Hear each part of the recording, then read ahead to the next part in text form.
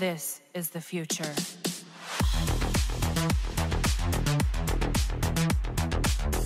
Hello ladies and gentlemen, Sigvald Grim here and welcome to another video. Oh boy, Sigvald is doing the Injustice Mobile news in time, what a surprise, we expected that.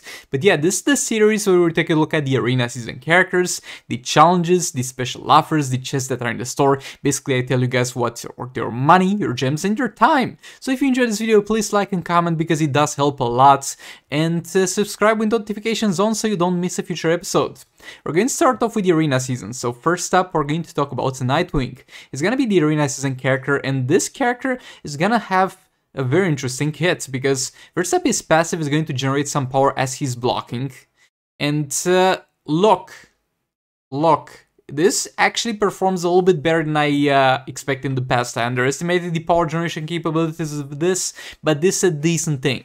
Of course, you'd rather have a Doctor Fate passive because it's a flat amount of uh, uh, power reduction that you get, or you'd rather have a Sword of Salvation because it's a power generation that you can control, but this is going to power generate decently for you. I'm just gonna say that. Uh, special 1 is going to give you a power drain on basic attacks, Special 2 is going to give you crit chance on basic attacks, and Special 3 is going to give you stun on basic attacks. So as you can see, he, all his abilities do something, it looks very good in theory, but in practice, there are only two roles that this guy can fill. Is he a damage dealer? No, his damage is kind of ass compared to the top teams. Is he a good combo builder? To an extent. He's never gonna be used in the top 6 teams in raids and steroids and he's not really worth uh, building for that, but he can perform decently for you in Arena 9 Champions Arena. But the problem with that is that uh, he doesn't have the gears in the Arena store anymore. So the only way to get his gears and really make use of him is going to be through random raid drops. And there were back in the day in the Arena, uh, in the Arena store, but for some reason I didn't grab them and I'm still missing two of them.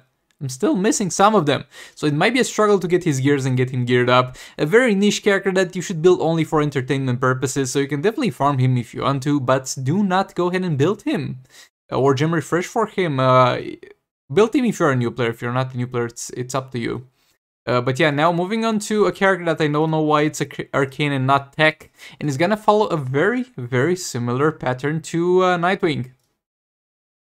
So get Blue Beetle Challenge. His passive is gonna be the increased damage uh, on his basic attacks after using a special ability.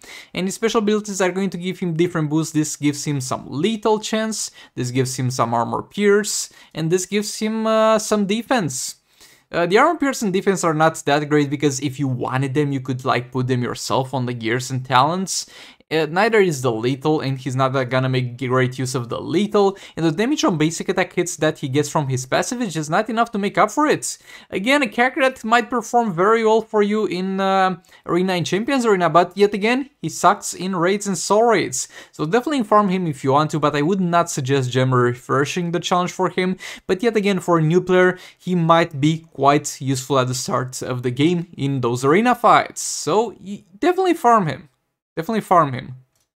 And the ever-present Brainiac challenge, I already talked about this in the previous episode, so I'm not gonna bore you guys and I'm gonna skip through it. Cool character, amazing at boosting legendary characters because of this passive, must-have character.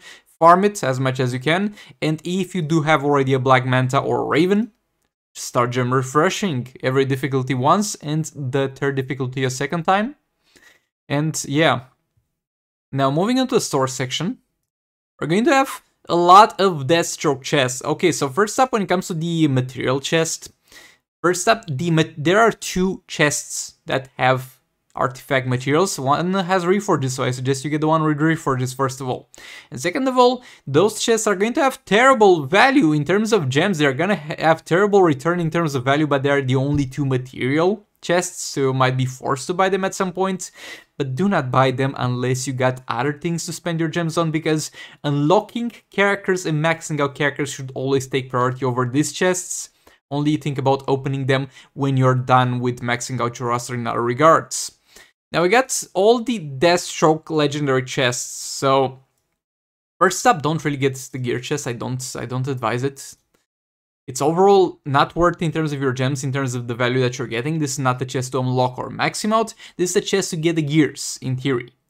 Now, if you really want the gears, this is kind of the only way to get them. But at the same time, First of all, it's far more worth to spend the, the 10 bucks to get the gears from these special offers if you want them. It takes far less time than spending uh, up to 40k gems to get all the gears from here, because it's a, slow, it's a small chance to get each gear and they can repeat themselves. And second of all, I still don't have gears on mine. Could buy them, but I'm choosing not to because he performs I would say at 90% capacity without gears because he's so dependent on the percentage damage on special 2 and after that's done he's not gonna do much anyway. So I don't think that will be a priority. Now those two other chests are going to be specifically for unlocking Deathstroke. Uh, you're going to uh, have to choose between this one with 2% chance for 200 shards and uh, this one that's going to have a total of an uh, 8% chance of various chances to get various amount of shards. First of all, question number one, do you have Raven? If you don't have Raven, don't buy this. Save up for the Raven Legendary chest. Now if you do have Raven, it's actually gonna be a pretty good Legendary to get because regardless of how terrible his gameplay is, he's actually going to deal a ton of damage. He might be the, I think he really is the best character in the game at zero investments straight up after unlockment, he'll do amazing damage for you if the enemy uh, boss is gonna be crazy high health. So if you unlock him, this chest will be far more luck reliant and I really don't suggest you get it because uh, some chests like the Raven one have a redeeming quality which is Catwoman being in there and there I'm like, well if you also want Catwoman you can open the one with Catwoman in it but if not you can open this one. Uh, but this one has Nightmare Batman, and Nightmare Batman is in the arena seasons and is not a great character, or the is not a must-have character, and he's useless in raids and solo raids, so... Uh, opening this, you're going to get an you're, you're pretty much going to miss out on this increased chance because the shards for him are gonna be kind of pointless. So get a legendary chest if you want to max him out and unlock him. I can't guarantee you'll get him, it will be a gradual progress, but this is the, the best way to gradually unlock him. But again, it depends on your luck, so if you get crazy unlucky, don't blame me. Uh, Metahuman power-up, don't even touch this. All the power-up chests are going to be terrible. And the Mortal Kombat chest, uh, this will have increased chance for Raiden and Sub-Zero, they are decent for Arena Champions Arena, so if you're a new player like in the first 1 to 2 weeks of playing the game and you need characters for Arena Champions Arena, you can go for this instead of this one. Now moving on to special offers, we have Promethium Starter Pack, Promethium Duo Bundle, Promethium 4 Star, hold on, we'll, we'll, we'll get back to all those. In a minute, so I was just looking if there were any other artifact offers. So, this is gonna give you uh, a chance to get one of them at level 1. This is gonna give you... Uh, if you're a new player, then this is definitely gonna be something that can definitely help you out. Uh, because this is gonna give you 3 gold characters, and regardless of what you get, because there's a ton of trash in here, but some decent ones, this is gonna be helpful for you in Arena NCA at the start of the game, and you're going to get 2 Promethium artifacts, so if, if you're a new player, this is gonna be decent value for you. Um, but the thing to keep in mind when uh, buying those things and those bundles that are gonna come into is that you're gonna get the benefit of having something else in there. Like over there, you're gonna get a few gold characters. Over here, you're going to get um, some materials. But the thing is, the chances for the higher level artifacts are going to be heavily reduced. You're gonna see artifacts all the way up to level 10 here. But if you open the bundle that's not currently in the store that has just artifacts all the way up to level 10, those are going to have higher chances for higher level artifacts.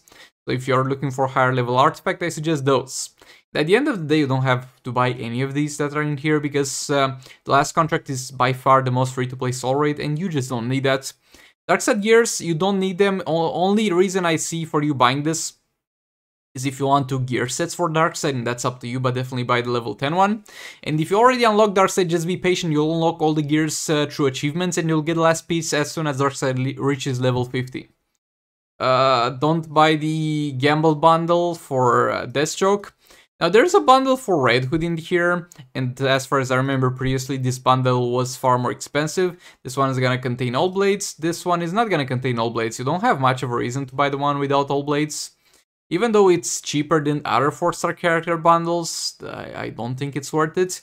But this one with all blades, if you wanted to, and if you really want all blades, you could buy it. This is actually decent value for what it offers, but if you don't have Raven, buy a 3-star Raven with that money instead.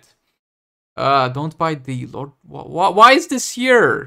What's, what's the point of this? But yeah, don't buy them. They're in the arena store as far as I remember. Darkseid's gamble bag, I'm not even gonna get into that. Just, just don't. Just don't. But yeah, well, that being said, thank you so much for watching. This was it for this episode of Injustice 2 Mobile News. Please drop a like in the comment if you enjoyed it, because that helps a lot. Subscribe to not miss a future episode, and I'll see you all in the next one. Goodbye. This is the future.